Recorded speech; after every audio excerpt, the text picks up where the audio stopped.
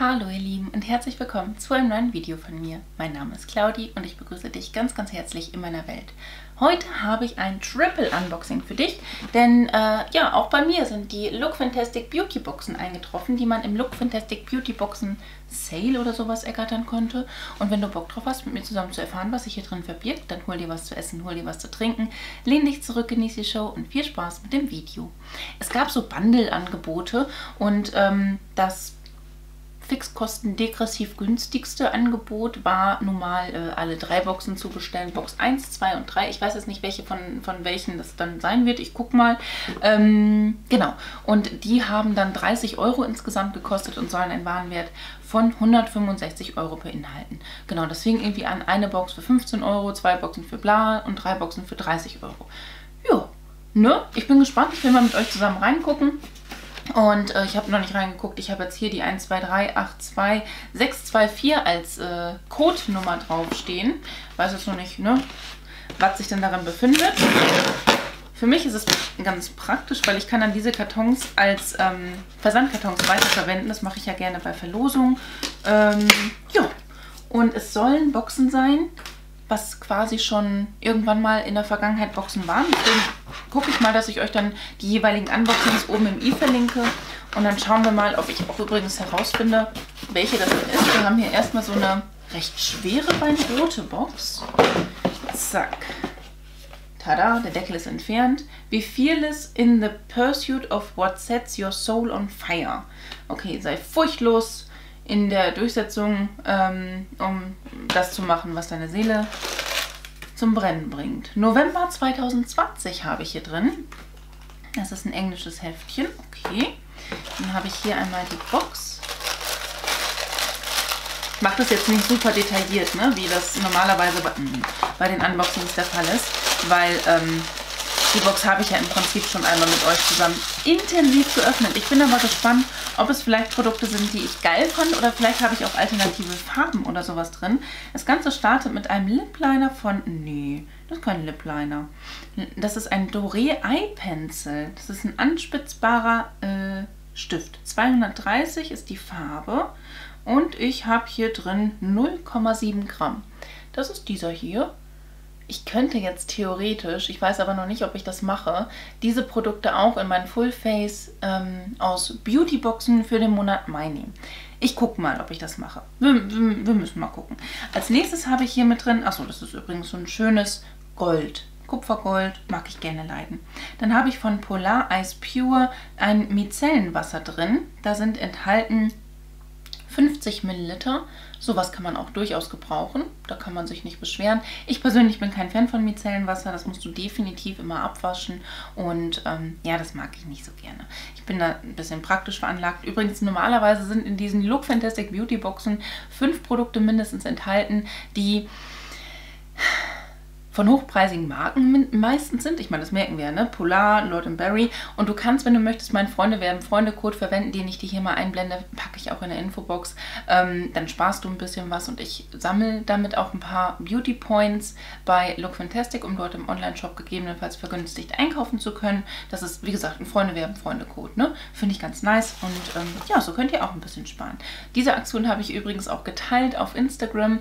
Falls du mir dort noch nicht folgen solltest, verpasst du was, denn da teile ich einiges, auch Sachen, die ich dann vielleicht dann doch nicht kaufe und nicht hier vorstelle.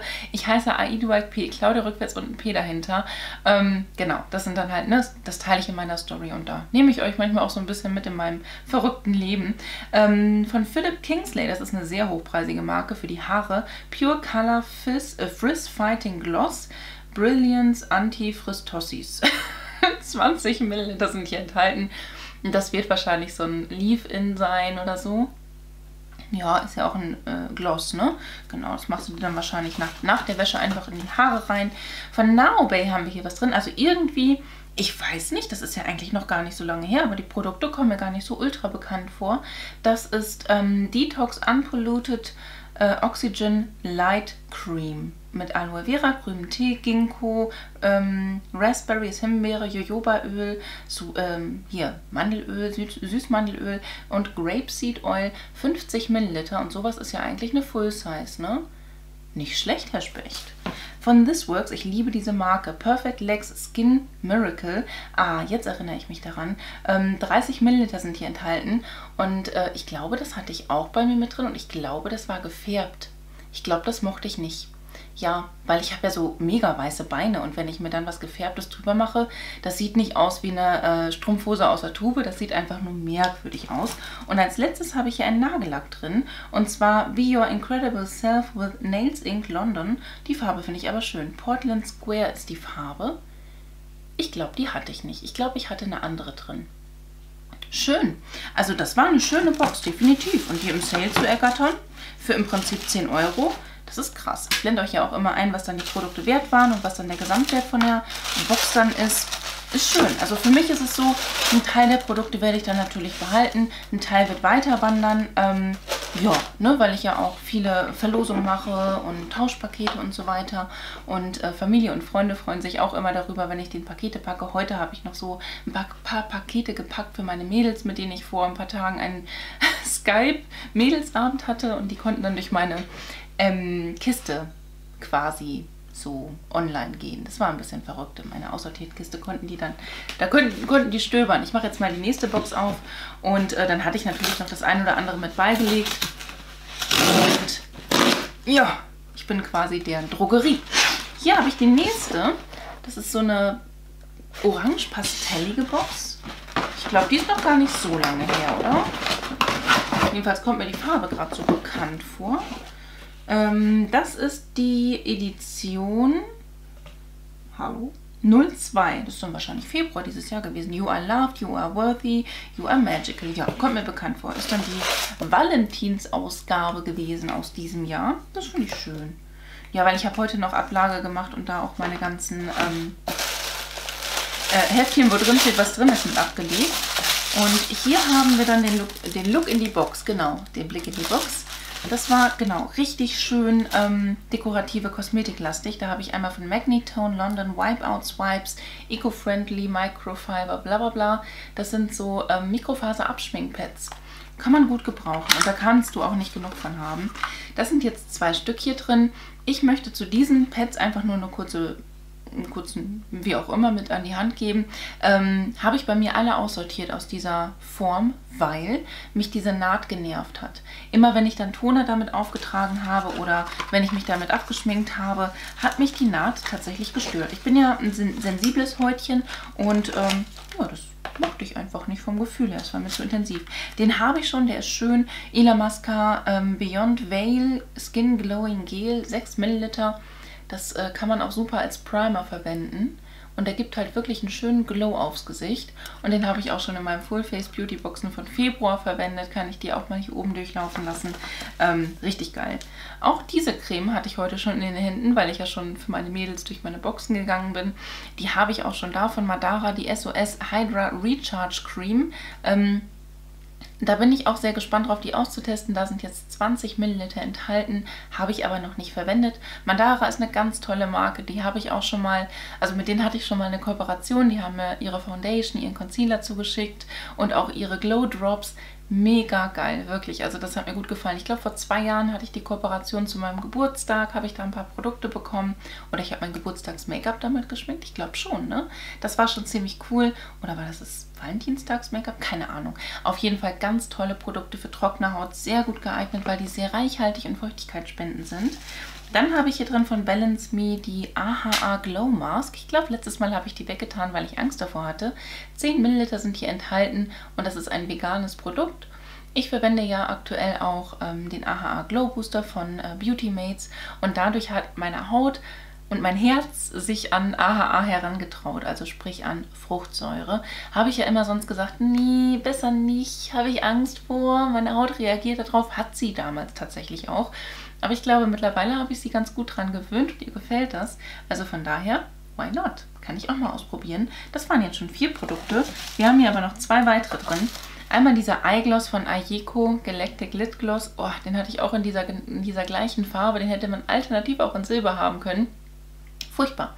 Wirklich furchtbar. Wenn man Schlupflider hat, also ich habe leichte Schlupflider, ne? aber wenn man solche Schlupflider hat, wie ich sie habe, Finger von lassen, weil das ist eher sowas, was man halt so als ähm, ich mache das nur für einen Fotolook verwendet.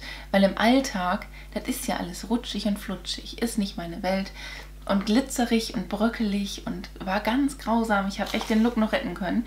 Dann habe ich hier von Bubble Tea zu allerletzt noch eine Handcreme mit dabei. Strawberry Macaron Hand and Body Butter, 50 Milliliter. Die habe ich noch gar nicht ausgetestet. Die ist noch in meiner Backup-Sammlung. Ähm, die muss auch noch ausgetestet werden. Ja, genau. Also ich habe sie jetzt nochmal da. Und das war jetzt die Februar-Edition. Ich finde es schon cool, dass wir jetzt tatsächlich in beiden Boxen schon mehr als die üblichen fünf Produkte drin hatten. Also mag ich, beschwere ich mich nicht. Ich raschel ein wenig. Irgendwie hatten wir da auch wirklich Boxen jetzt bislang bei, die mir auch schon beim Unboxing damals, beim ursprünglichen Unboxing gefallen haben. Und jetzt, oh, ich habe gar nicht gesagt, welche Box das war. Ne? Das war die 1, 2, 7, 9, 3, 4, 7, 7. Die hatte ich jetzt hier drin. Und dann habe ich jetzt hier die dritte Box. Das ist die 12793484. Jo. Dann richte ich hier mal auf. Ratsch. Oh, ich liebe es, wenn das in einem Zug passiert. Ne? Das hat ja zweimal funktioniert. Guck mal, die ist doch auch aus diesem Jahr, oder? Die kommt mir auch bekannt vor. Die habe ich nämlich, als ich heute meine Ablage gemacht habe, gesehen bei den Heftchen. Weil ich dann immer meinen ähm, YouTube-Kanal zu Hilfe nehme und dann äh, nach den einzelnen Boxen filter. So schaut die aus. Das ist irgendwie zum... Entweder war das zu Black Lives Matter oder zum Weltfrauentag. Beauty Beyond Boundaries ist nämlich die Ausgabe gewesen. Aber ich glaube, der Inhalt war nicht so geil. Mal gucken. Um, ähm, there is no force more powerful than a woman determined to rise. Also da ist äh, keine Kraft mh, mm, stärker als eine Frau, die wachsen möchte. Eine relativ leichte Box. Mal schauen. Müssen wir mal schauen, sage ich irgendwie gefühlt die ganze Zeit, ne? Man muss immer mal schauen. Das ist eine Überraschung für die Box, Leute. Und ich stehe auf diese Überraschung. Ja, die ist recht neu. Denn ich kann mich auch noch daran erinnern, hier ist kein Flyer mit dabei, läuft bei ihm. Ähm, aber auch hier haben wir sechs Produkte drin, dass ich diesen Pinsel auch in einem meiner Full Face Beauty Boxen verwendet habe. War das dann die Märzbox? Ist wirklich noch nicht lange her.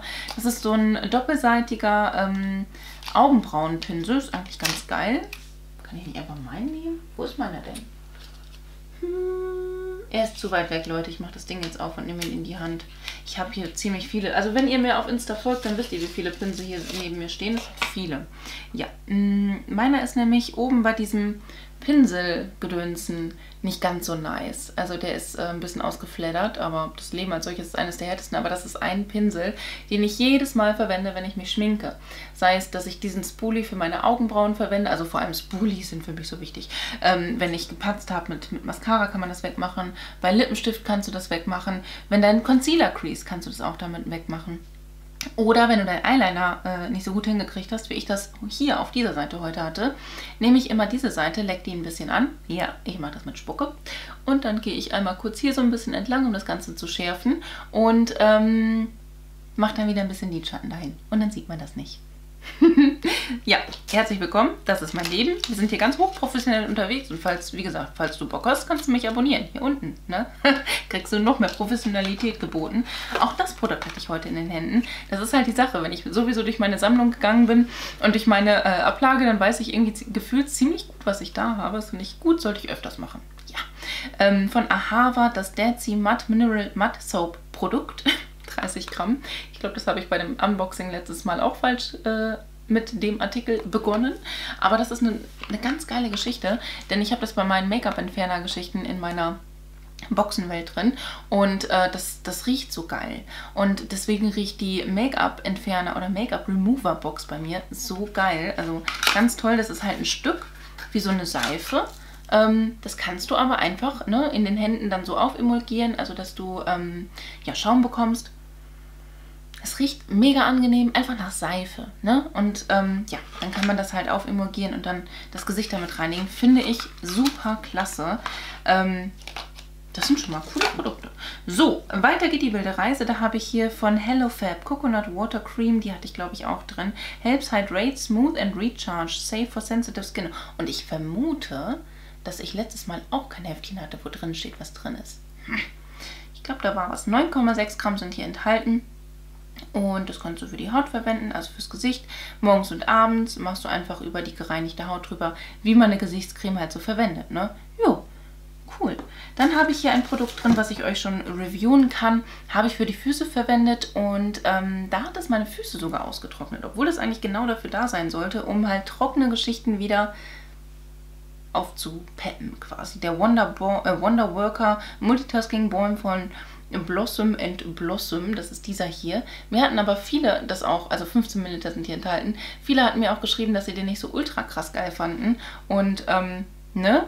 Eine hat mir sogar, die bei mir ein Beauty-Paket gewonnen hat, was, sie, was ich individuell zusammengestellt habe für sie, geschrieben, dass sie den ganz, ganz furchtbar fand. Also ein, ähm, eine Empfehlung quasi.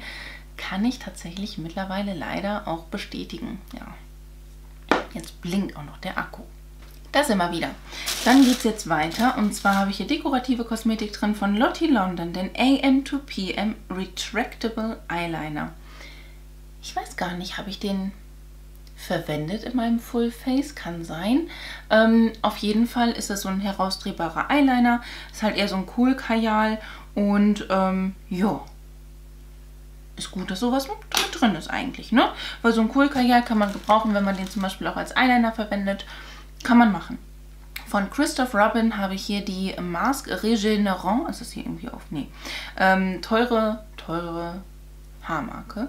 Ähm, Regenerating Mask with Rare Prickly Pear Seed Oil. Ich habe keine Ahnung, was nochmal Prickly Pear war. Vergesse ich immer wieder. Ich übersetze mir das immer und dann vergesse ich das. Mein Kopf ist ein Sieb. Ähm, das ist eine französische Marke. Die lässt du auch nur zwei bis drei Minuten irgendwie drauf. Das ist natürlich cool. Mm, nachdem du die Haare schamponiert hast, genau, finde ich gut. Und hier haben wir 50 Milliliter in diesem kleinen Pöttchen drin. Das finde ich sehr komfortabel, ne? Riecht super geil. Also das kommt auch auf jeden Fall in meine Backup-Sammlung, auch wenn ich da schon vielleicht einen von bei mir stehen habe, aber trotzdem, es soll eine richtig geile Geschichte sein. Und ähm, ja, das wird verwendet. Finde ich gut. So, wir hatten eben ja schon in einer anderen Box was von Polar mit drin und hier haben wir auch was von Polar dabei. Das ist das ähm, Cream Hydratant Ice Sauce Moisturizing Cream with Iceberg Water. 20 Milliliter sind hier enthalten und das Ding ist gefüllt bis, also das ist quasi, sieht man das? Hier ist so ein, also das ist quasi frei hier oben. ist immer ein Träumchen, wenn du diese Tuben hast, die einfach, naja, ein bisschen irreführend sind. Ähm, Polar vertrage ich leider nicht so gut in meinem Gesicht, deswegen wird die wahrscheinlich auch weiter wandern. Aber ähm, ja, ansonsten hatten wir hier auch schon wieder sechs Produkte drin. Ich muss sagen, dass diese Boxen sich an und für sich wirklich gelohnt haben. Also wenn ich jetzt mal so, ne, das Fazit beginnen darf. Deswegen stelle ich das Ding hier mal kurz zur Seite. Ne, wir hatten sogar sieben Dinge drin schon. Schau mal. Ich wollte euch gerade Schatz nennen. Ihr seid auch alle meine Schätze. Ich rede teilweise echt mit euch wie mit meinem Freund. Ganz easy peasy Sonnenschein, so muss das sein. Und das war ein Rein. Das war fein. So, lassen wir das sein. Ich habe keine Ahnung, was los mit mir ist, aber es ist halb elf an einem Samstagabend und ich habe irgendwie mal wieder ne, ein bisschen zu viel Tralafitti in meinem Kopf. Also, ich persönlich muss sagen, dass diese 30 Euro sich für mich gelohnt haben. Es sind alles Boxen, die wir schon mal hatten. Also wenn man Abonnent ist, äh, von der Look Fantastic Beauty Box ist und dann in diesem Mystery Sale zugeschlagen hat, kann es sein, dass man sich geärgert hat, weil man denkt, ach Mensch, ne, das hatte ich doch alles schon. Andererseits sind hier ja auch recht geile Produkte drin, wo man sich denken könnte, hey geil, das fand ich total super, als ich das im, wann auch immer äh, bekommen habe im November. Schade, dass es aufgebraucht ist. Cool, dass ich es jetzt wieder habe, weil es ja auch hochwertige Geschichten sind. Ne? Also da würde ich mich jetzt so einfach mal weit aus dem Fenster lehnen und behaupten, dass das eigentlich auch für jemanden was ist, der die Boxen im Abo hat, so generell. Am allermeisten lohnt sich sowas aber vor allem, wenn man nicht Abonnent von der Box ist und ähm, sich dann auf einen Schlag halt diese drei vergangenen Boxen bestellen kann und ähm, sich einfach mal so als kleinen Teaser anschauen kann, wie die Qualitäten, wie die Marken sind, wie die Zusammenstellung von der Box so ist. Also ich glaube, dass das vielleicht so der mm, also diejenigen werden, die am meisten davon profitieren würden. Ne? Für mich, die ja relativ viele Abo-Boxen hier jeden Monat bei sich einziehen lässt, ähm, ist es halt praktisch, weil ich einen YouTube-Kanal habe weil, und Instagram habe, weil ich Verlosungen mache. Das heißt, die Produkte, die ich wirklich nicht verwende, werden weiter wandern. Bei mir wird nie irgendwie was wegkommen. Also nur die Dinge, die wirklich, wirklich schlecht sind, im Sinne von abgelaufen oder richtig schlecht, nicht empfehlenswert für irgendwen, landen in der Tonne. Alles andere geht an Freunde, Familie, wird gespendet, verschenke ich über eBay Kleinanzeigen, geht an die Tafel und so weiter. Also da habe ich wirklich viele Abnehmer, Gott sei Dank, die ähm, ja da auch dann einfach von mir Pakete bekommen und denen ich damit auch ein Lächeln ins Gesicht bringen kann, wie die eine Box es eben schon sagte. Ja, ähm, finde ich eigentlich ne, eine feine Kiste und ähm, mir hat das gefallen. Ich weiß nur nicht, ob ich tatsächlich jetzt bei den nächsten Mystery Sales äh, zuschlagen werde oder ob ich es nicht einfach nur teilen werde auf Instagram, um euch zu informieren, mm, weil es für mich halt wieder, ne, ich habe eigentlich genug da. Da habt ihr vollkommen recht. Die ein oder andere wird es mir safe in die Kommentare geschrieben haben und auch manche schreiben auch manchmal ganz böse mit rein, ähm, so, hm, ja, du hast anderen die Chance weggenommen, auch diese Boxen sich zu kaufen, weil du zugeschlagen hast. Naja, also dieser Mystery Sale, der war irgendwie eine Woche oder so online. Ne? Also den gab es richtig lange. Da konnte man sich lange daran bedienen. Und ähm, deswegen habe ich persönlich jetzt kein schlechtes Gewissen, weil alle Produkte, die jetzt hier in diesen drei Boxen drin waren, ähm, finden ihre Anwendung. Entweder bei mir oder bei irgendwem in meiner Umgebung. Und ähm, ja, das war's jetzt hier von meiner Seite und wenn euch das Video gefallen hat, dann lasst mir doch sehr, sehr gerne einen Daumen nach oben da. Würde ich mich mega drüber freuen. Ansonsten wünsche ich dir einen wunderschönen Tag, einen wunderschönen Abend. Lass es dir ganz einfach gut gehen. Fühl dich ganz doll gedrückt von mir. Ich verlinke dir mal hier oben meine Playlist mit den ganzen Unboxings meiner Abo-Boxen. Hier unten meinen neuesten Upload auf dieser Seite. Noch ein Video von mir. Und hier oben kannst du, wenn du möchtest und es vielleicht noch nicht getan hast, mich sehr, sehr gerne einmal kostenlos abonnieren. Ich würde mich echt von Herzen drüber freuen. Lass es dir gut gehen und hoffentlich bis zum nächsten Mal. Ciao!